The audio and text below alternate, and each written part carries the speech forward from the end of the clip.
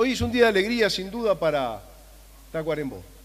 Tacuarembó hoy está de fiesta porque nueve familias hoy van a tener su techo propio, completando así el convenio de las 15 familias, como recién se decía, de los cuatro convenios que firmamos en diciembre del año pasado, solo unos meses atrás, con el señor intendente. El señor intendente, la verdad, que es un, gran intendente, eh, con el cual tenemos solamente palabras de, afecto y de admiración hacia él. Porque esto es posible porque el intendente puso los terrenos para que se hicieran estas esta viviendas.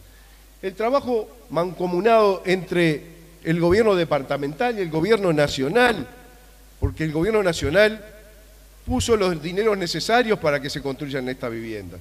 Y así estamos toda semana tras semana recorriendo el país con más viviendas sociales, con el sistema público de viviendas entregando viviendas. Esta mañana se entregaron viviendas también de Mevir en, San Ramón. Mañana estaremos en Puntas de Valdés, en el departamento de San José, también entregando viviendas. El jueves estaremos por el plan Avanzar entregando viviendas en Paysandú.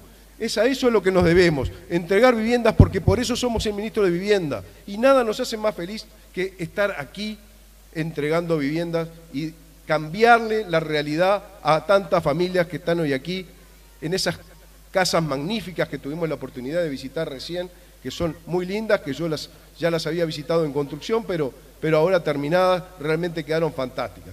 Felicitaciones a todos los participantes, felicitaciones a todos los que lo hicieron posible, a todos los que lo construyeron. Muchas gracias.